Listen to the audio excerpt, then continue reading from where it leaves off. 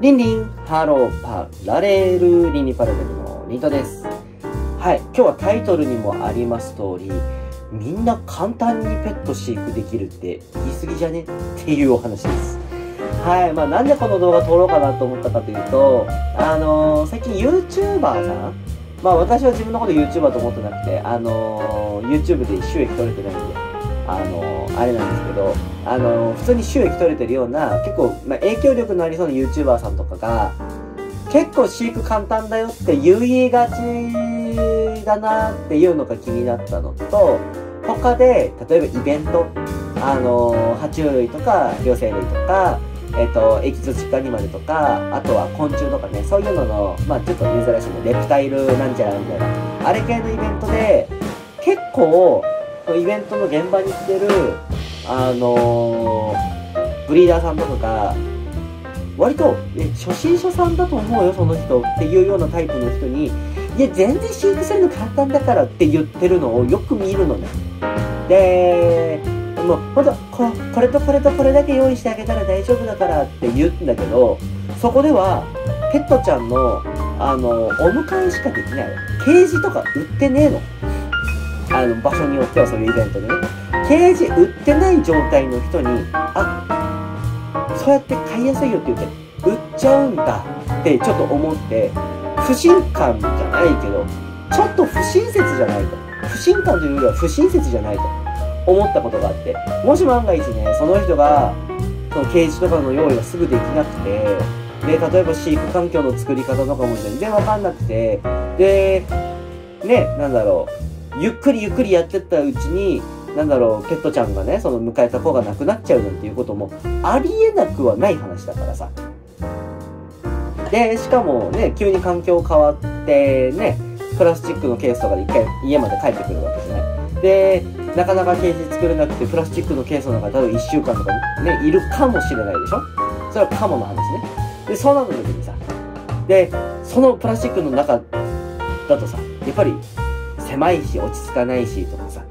ね、環境慣れもなかなかしないしとかって起き得るじゃない。で、それが起きていったうちにさ、なんだろうな、性格が荒れちゃったりとかさ、威嚇ちゃんになっちゃったりとかさ、いろいろね、弊害が出てくるわけじゃん。にもかかわらず、いや、すごく簡単だよっていう風に言っちゃってて、いや、すぐに飼育環境作れると思ってんのかいって、ちょっと思うんで、例えば飼育環境も、あそこに売ってるよとか、例えば、ちょっとうちでは取り扱ってないんだけど、あっちでね、売ってるから、ああいうの買ってみてとかって勧めてるんだったらわかるんだけど、それがないところも結構多くて。でね、初心者さんで逆にそれを質問でできなかったりもする人もいるわけよ。で、勧められたし、可愛いし、買っちゃおうってなって、で、結果迎えたら、不幸なことになくなってしまったとか、起きるのね。で、それが起きるって、結構悲しいことだと思うのね。だから、なんだろうな、なんか安易にみんな簡単だよって、買ってみてみたいな感じで言うんだけど、ちょっと待てよと。ある一定のボーダーライン、ちゃんと教えないとあかんぞ。で、例えば、その中で起きてくる弊害っていうのもあるぜって。大きいところで言うと、うちはね、袋モモンガの動画結構多く出してるんで、袋モモンガでちょっと例えるならば、あのー、まあ、袋モモンガさんをね、あの、取り扱ってるブリーダーさんか。で、この間チラッと見たのでいくと、これぐらいのプラケースでね、全然飼育できて、まあ、あのー、暖房つけてたら大丈夫だよ。うん。まあ、とりあえず暖房つけて、まあ、部屋の温度、30度もいかないぐらいにしといていいんだよ。あとはまあ、朝とかご飯とか、まあな、んか適当に、ね、器に入れて、入れといてやったら勝手に食うし、水もそこに入れとければいいんだから、だからほんとそれぐらいで買えるから、って言うんだけど、例えばね、これプラケースで飼ってて、あの、プラケースで飼ってる人が、あの、散歩をさせるんだったらいいんだけど、ずっとプラケースのままは、やばいと思う。ストレスもたまるし、運動不足にも陥ると思うんだよね。で、だから、その言い方ダメじゃね？って思ったのね。うん。で、水とか餌もそのまま入れといて大丈夫だからって言うけど、餌掘ったりとかさ、水もね、びちゃびちゃになっちゃったりとかで、で、水が体についてさ、体力落ちたりとかするわけよ。下手したらねでしかもこんだけちっちゃいケースの中に水入れと餌入れあってで寝場所があってあのー、ただ結構動き回るから水ねびちゃびちゃになって床材とかさ例えばポーチとかにさついたらさ多分それで体力が落ちていってなくなるぜってで暖房だけで OK だからって言うけどいや床それだったら床のパネルヒーターぐらい置いたらとかさ私は思うのね。で、ま、その餌もさ夜朝入れて食べ終わったら抜いているとかって言うんだったらわかるけどもう入れたまんまでいいからぐらいな感じで言ってるからそれ違くねえかみたいなね。思っちゃうわけよ。だから、その言い方だと、その言い方で初心者に言っちゃうと、初心者さんは、あ、これでいいんだって思っちゃうね。で、これでいいんだって思ったら、それで勝っちゃうわけよ。すると何が起きるかったら、水びっちゃびちゃ、ご飯ぐっちゃぐちゃ。え、いつご飯取り替えようで、ケージから出すけど、例えばそれでね、全然懐いてない子だったら、え、どうしようどうしようとか、え、まあ全然触れない。あ、逃げちゃった、あ、どうしようみたいなね。ってなってくわけよ。で、例えば、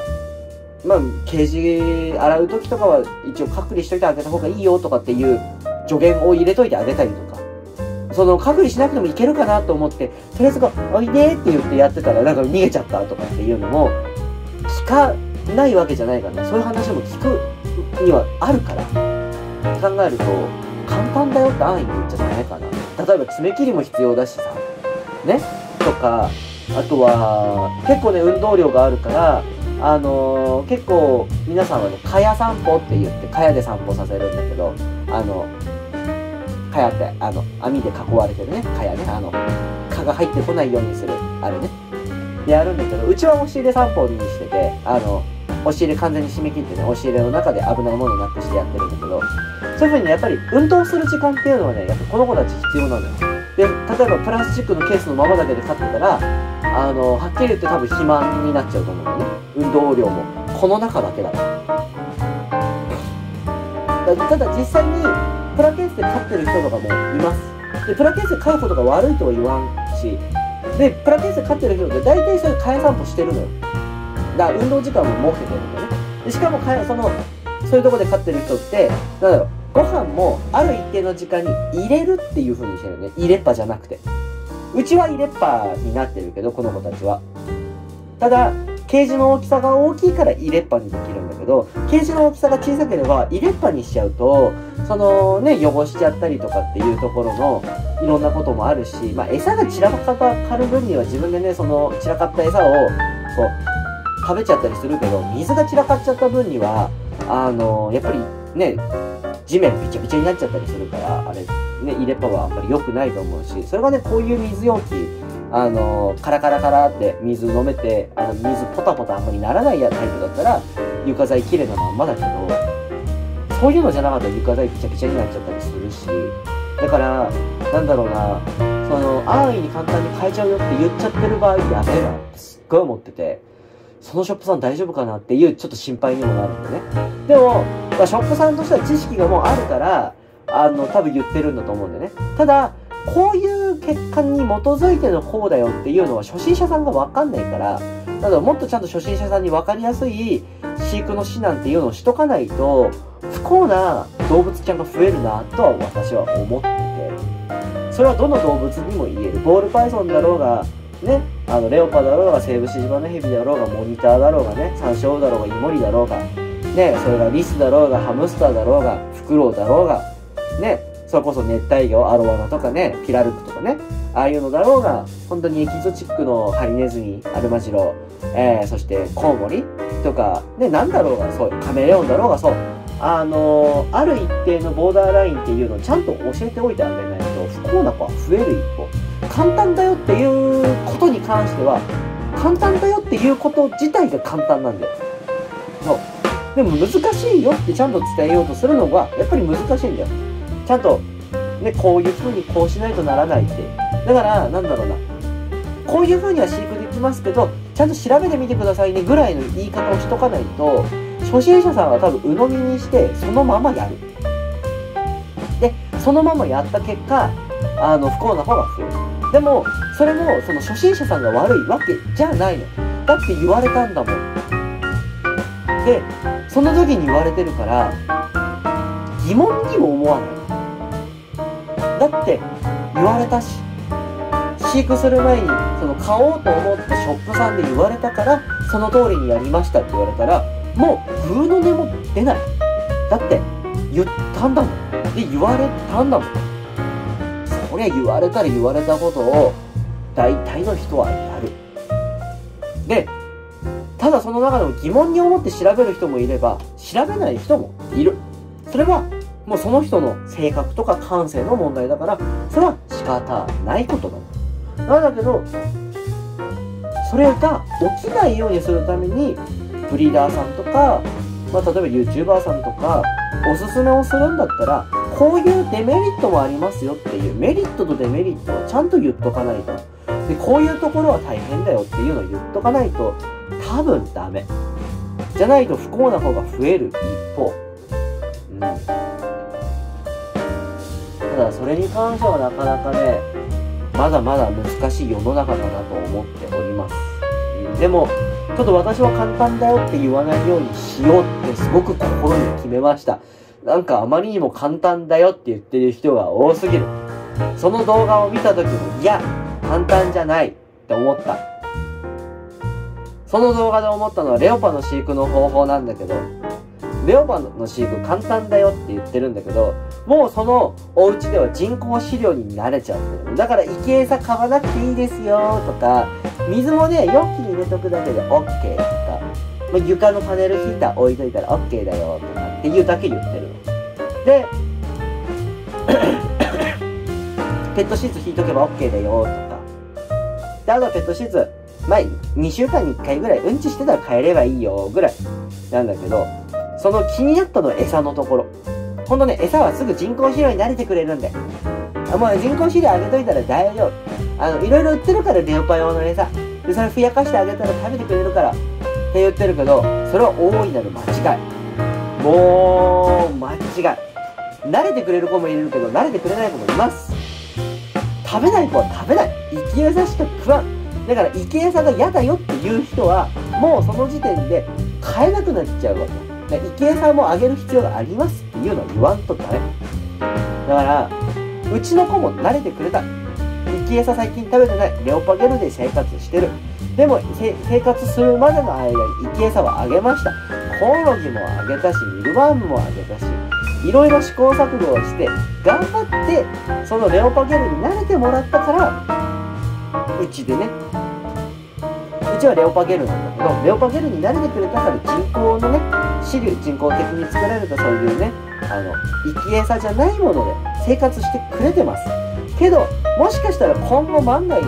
その餌を食べなくなって生き餌しか食べないっていう瞬間が現れる可能性は全然あります。でそのタイミングになったら私は生き餌を買うだけの話なんです。私は全然生き餌を買ってきて、えー、あげればいいと思ってるので。ただ生き餌をね管理するのがなかなかめんどくさいんで私は人工飼料に頑張って慣れてもらってでもいつか来るかもしれないその生き餌を食べないっていう瞬間はもう生き餌じゃない人工飼料を食べないっていう瞬間は生き餌をやっぱ買ってきてショップさんからねで食べさせようとは思ってるし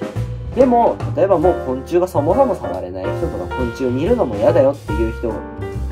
に対しても、全然昆虫触んないから大丈夫なんです。量も簡単に買えますって言ってる、あの動画はちょっとやべえと思った。昆虫触れないほんと昆虫見るのも嫌だっていう人が勝ったら痛い目見ると思う。で最初ご飯食べてくれないしなんでうちの子食べないんだろうって悩んじゃうと思うよ。でゆくゆくねその人が調べると結局やっぱり生き餌食べさせなきゃダメじゃん。ってなる時にね我が子がどんなに可愛くても生き餌がダメっていう人だって出てくるから。するとああどうしよううちで買えないよとかってなって里親として誰か迎えてくださいってなるかもしれないし下手したら逃がしちゃうっていう人も出てくるかもしれないしもういろんな最悪の事態も考えた上で発言しないと発言には責任感があると最近ちょっと思っておる。だからなんだろう簡単な部分も簡単なんだけどめんどくさい部分はめんどくさいよってやんなきゃならないこといっぱいあるもん。で私に関しては今現状ね今現状私の個人的な意見を先に前置きとして言っとくけどうちの子の飼育はまあ楽です。なんで楽かっていう理由も言えます。なんで楽かそれはこのリント本人が慣れたから。飼い主が慣れたから楽なんです。でも飼い主が慣れてないと楽じゃないです。そこなんですよ。飼い主が慣れてきたら楽です。多分だからブリーダーさんが楽だよ。簡単だよっていうのもあなたはいっぱいブリーディングしていっぱい繁殖させたから楽なんです。でも初心者さんは楽じゃないんです。もう知らないこといっぱいある。あなたはで知識として100あるかもしれないけど初心者さんは知識として1か2ぐらいしかないんですよ。で最初に1と2の状態のまんま連れ帰らせたら危ないから10ぐらい教えておきましょうと。100教えるのは難しいかもしれないけど10ぐらいは一旦教えておこうかと。で10ぐらいあったらそっから調べて覚えていこうねっていうところもね言っておくとその人が調べてくれる可能性はあります。で困ったら聞いてくださいねっていうね釘刺しもしといた方がいいと思います。それとあ困ったらじゃあ頼らせていただきますとか困ったらこれ見てねとかっていう風にしとくとね次この10の知識から気づいたら20になってるかもしれない。でその20の知識がだんだん気がついたら30になって40になって50になってっていう風に。で慣れていくと気づいたら楽にはなってると思う。でも最初初心者さんは10しか知らない状態。でも多分大変。全然慣れてないから。だから100を覚えてる人と10しか知らない人っていうのは本当にいろいろ大変な思いをするのでそこはねちょっと気をつけなきゃなんない部分だと思います。はい。あのー、なんとなくね私の言いたいことが意図が伝わっていればいいんですけれども本当ね動物を飼育することを簡単っていうのはやめてほしいなって思った次第でございます。はい。まあね本日はそんなところでございます。動物を飼育する上でいろいろ試行錯誤しながら皆さんやっていただければなと思います。はい。でもしね困ったこととかあの、気になることとかあったらあの、私のチャンネルのコメント欄は聞いていただいて全然構いませんので何かありましたら聞いてみてください。えっ、ー、と答えられる範囲でね答えさせていただきます。はいということで本日は以上となります。えー、もしよろしければこちらのチャンネル登録、そして高評価、そして Twitter、Instagram、TikTok、えー、やっておりますので、よかったらそちらの方フォローお願いします。そして動画もね、このチャンネル1000本超えました。あの、過去にたくさん動画も上がってますので、よかったらそちらも見てみてください。ただね、なかなか過去の動画を見るっていうのが難しいかもしれないんで、常に新しい私の思ってる情報とか、あとはね、あのー、新しい動画を見ただけでも、ちょっと、あ、こういうことかなっていう過去の動画を見なくてもね、わかるような動画作るように心がけていきますので、ぜひともこれからもよろしくお願いいたします。ということで、本日は以上となります。以上、リントでした。バイバーイ。最後までご視聴ありがとうございます。チャンネル登録はこちらから、Twitter のフォローは概要欄から、その他のおすすめ動画はこちらからよろしくお願いいたします。ということで、以上、リントでした。バイバーイ。